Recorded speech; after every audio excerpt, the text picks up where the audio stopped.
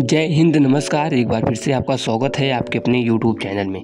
आज के वीडियो में बात करने वाले हैं यूपी पुलिस री एग्ज़ाम पहले फ़िज़िकल होगा या पेपर एग्ज़ाम होगा तो कब तक होगा और कट ऑफ़ क्या रहने वाली है? हंड्रेड परसेंट सब कुछ इसी टाइप के ऊपर बात करने वाले हैं। चलिए वीडियो शुरू करते हैं। यदि आप चैनल पर नए हो तो वीडियो को लाइक और चैनल को सब्सक्राइब ज़रूर करें।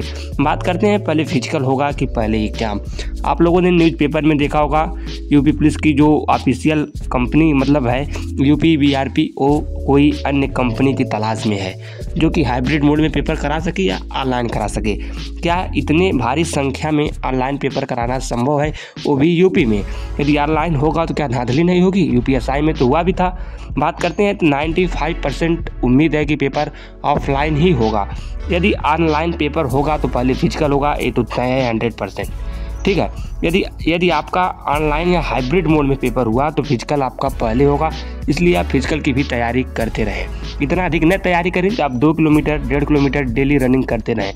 एग्ज़ाम की डेट आपको बता दें कब तक हो सकता है। कोई ऑफिशियल नोटिस तो है नहीं। उम्मीद जताई जा रही है। चुनाव के बाद ये तो सबको पता है। और छः महीने के भीतर जहाँ तक उम्मीद है पेपर जून, जुलाई में आपका होगा नहीं, अगस्त में आपका पेपर जाएगा। जी हाँ 95 परसेंट है कि आपका एग्ज़ाम अगस्त सितंबर में जाएगा और जुलाई से पहले मात्र 5 परसेंट की उम्मीद जताई जा रही है। और बता दें कट ऑफ़ क्या रहेगा। हंड्रेड क्वेश्चन जो कर देंगे ना, हंड्रेड क्वेश्चन कोई आम बात नहीं है। बस मुख से कहने के लिए है कि हंड्रेड क्वेश्चन आप सही कर दो, हम सही कर देते हैं तो सब गलत बात है।